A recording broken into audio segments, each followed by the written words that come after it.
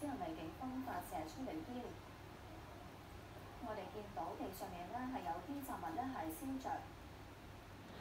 我而家喺我自己嗰個天台上面啦，咁就哇真係超級晒真係。好啦，其實咧好耐好耐好耐，我係未做過一個英文 vlog 嘅。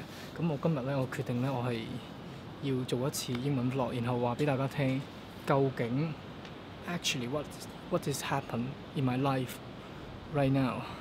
Okay, um, I have to be honest, I I have like few few topics I have to talk about today. They're all basically about my life, like things all around me going on. I haven't really picked up this English vlog, vlog for, for, for like a really long time. And this is weird as well because like past two years, like after coming back to Hong Kong, like it's really hard to me to speak Chinese as well in front of camera. I thought I guess this is um, the problem of the relationship between me and the camera and the audience and uh, like but now I'm okay. Like you know, this is um place you speak Cantonese and like now I'm speaking English. I feel like I can be someone else as well. Like I don't have to be myself. It's just an update to be honest, but I, I, I hope like my Chinese audience can listen to this vlog as well. May as well do the translation and stuff. Anyways, first thing I have to talk about is my career. My past two years I nearly haven't really you know, I just like in the process of searching and looking for an environment that I can comfortably work in. Like most of the time, I think like those people, they are very sort of how can I say like they are very cruel and they are they are very sort of they just want to limit everything you thought you do especially in work. And now the thing the, the, the protests and stuff like going on in, in hong kong you know like it's very very messy here but really i'm, I'm optimistic guy. We are heading to a new direction and it's a good direction for hong kong and china as well. Any- anyways the first thing i have to do is like i still haven't given up um, taking videos making vlogs even though like my past two years vlogs is like shitty if you just know English, you wouldn't understand like most of it. But if you're Chinese, you may feel like, oh, I have so much like I like sometimes I care too much of myself, and sometimes I have to, I, don't know, like I just can't be myself. To be honest, it's really hard for me my past two years, but now I'm fine now. I'm really fine now, and I'm I'm feeling happy every day. And like every day when I wake up now, I I feel like I have so much energy that I have to do something. Yeah, basically I got a job like a week ago, and I really like it. It's about YouTube so I'm, I'm working in a company that um, manage like different YouTube channels and stuff. Like I I don't think I should really have to mention too much about I, I shouldn't mention too much about it because I don't know some like something I have like I can say it because they know I have a YouTube channel I can like make my voice you know like to everybody and I have my little world here. But they it, it will be fine but right now I just don't want to you know like to talk too much about it. It's, it's about YouTube and um and the working environment is really good as well. I got um like a Western colleagues that I have to speak like English to which is really good like practice my English yeah and the sec- second thing like this thing gives gives me a lot a lot of knowledge about the the China and Hong Kong and Taiwan, like this, like the area around here, like the the trend and the, you know, like the ecosystem, the YouTube or the videos ecosystem. I really learn a lot every day. Yeah, and and it's about YouTube, so I'm happy about. I'm really happy about it. And the, and the company is expanding, it's really, which is really good. So I'm, I'm really happy right now. And the second thing I have to speak about is the, um, the barbecue, like the Cantonese barbecue shop that my parents have.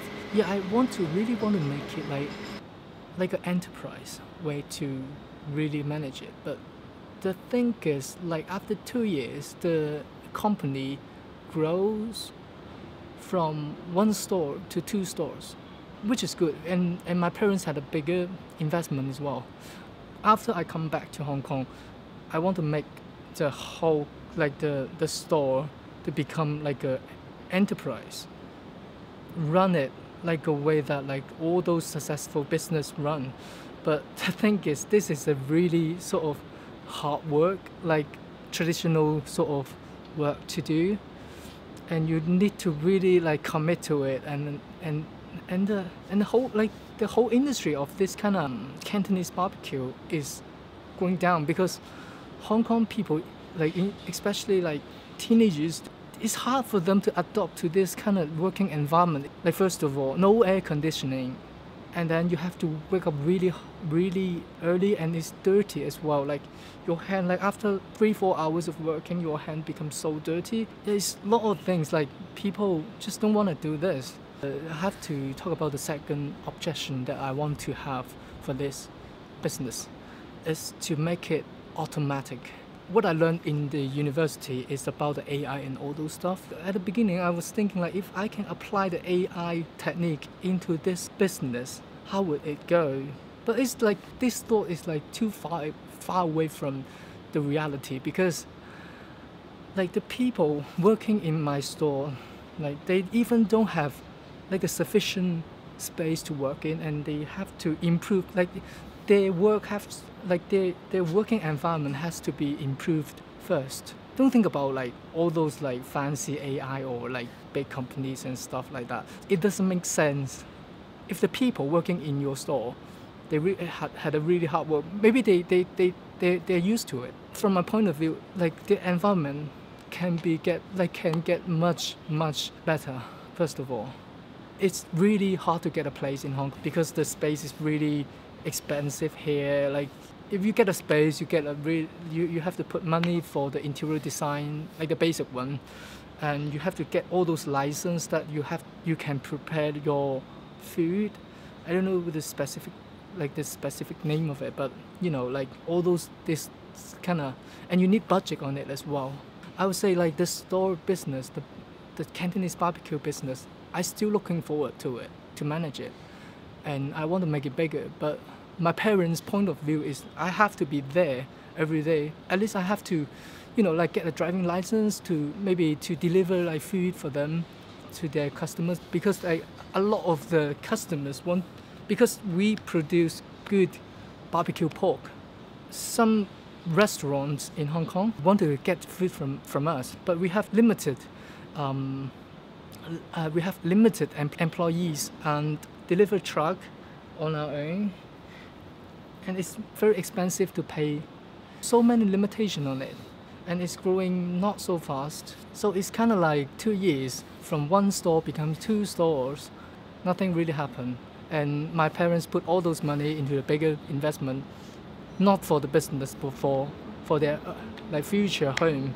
Because they want, want to buy when they have money, they want to buy home. When they have another money, they want to buy another flat or apartment, etc. Still want to do it. I still want to, you know, like put the store onto like a, in the in the in the in in the web, maybe on YouTube or some sort of platform to sort of promote it.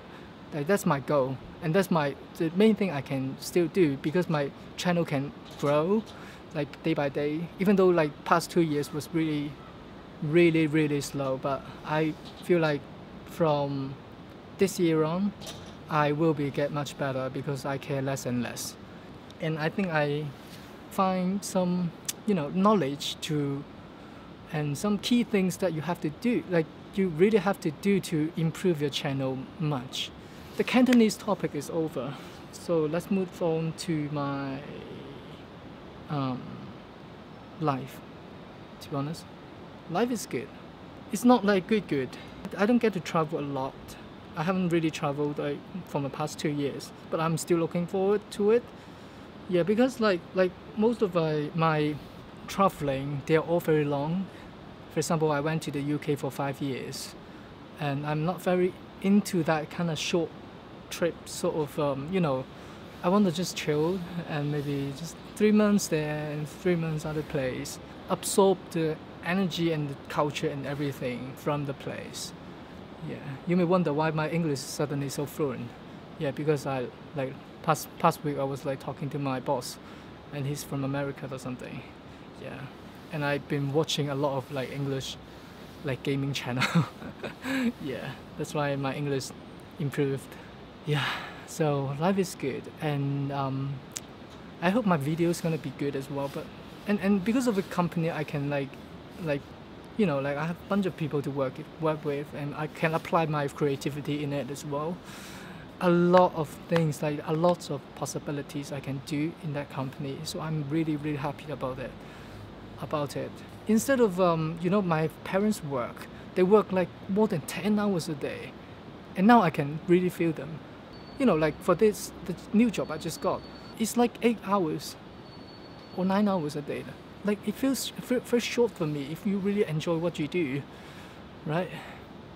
I can I can still commit a lot in it, to be honest. Yeah. And that's really much the things I have to talk to. Is probably gonna over ten minutes or something. Yeah. And um, Hong Kong is very messy right now. I'm I I wouldn't say messy, but there's things going on here, you know, the protests and stuff. And I'm optimistic with the future. And I'm stand for those people as well. I, I, I, I, I like not every like not everything, like fighting people or like like you know, like people being very aggressive. I I'm not very kinda aggressive people but I, I I stand for the like original idea that they want to change and I think it's a it's gonna be a good change as well. And I think it's almost over now but it's gonna take time as well you know. So basically that's it. So um haven't really spoken English in the vlog for a long long long long time. But um, I'm looking forward in the future maybe like several months later I may I'm gonna you know make another English vlog. I'll see you guys